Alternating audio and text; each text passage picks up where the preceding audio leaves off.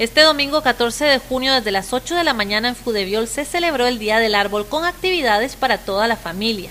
Este día se llevó a cabo el reconocimiento a varios pioneros y a cinco personas destacadas en este proyecto en Pérez Celedón. Se leyeron sus biografías y posteriormente se hizo un recorrido al sendero. Bueno, eh, esta actividad eh, es muy importante porque hoy justamente se está celebrando 100 años que Costa Rica emitió un decreto en el gobierno de Alfredo González Flores, en el cual se declaró el 16, eh, perdón, el 15, que sería el día de mañana, pero celebramos hoy por ser domingo, el Día del Árbol en Costa Rica. O sea, cada país define una fecha. Eh, y bueno, da la casualidad que justamente en España, en 1905, se declara a nivel de todo el país el Día Internacional del Árbol y Costa Rica también lo declara.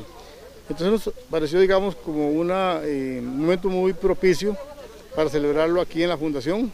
Además, se llevó a cabo la siembra de árboles y se realizó un recorrido por el sector donde está el proyecto Mi Árbol para la Vida.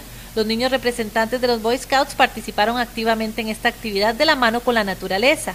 Esta es la primera vez que se realiza esta actividad y tuvo reunidas a más de 200 personas. Seguir celebrándolo, digamos, permanentemente durante todos los años. Nos parece que nosotros hemos hecho un gran esfuerzo aquí, ya tenemos 75 hectáreas eh, ahí se decía en la semblanza de que probablemente tenemos unos 30 mil árboles ya de, bosque, árboles, algunos centenarios, y hemos sembrado 1.500 árboles nuevos en una reforestación de un proyecto que se llama Melo para la Vida.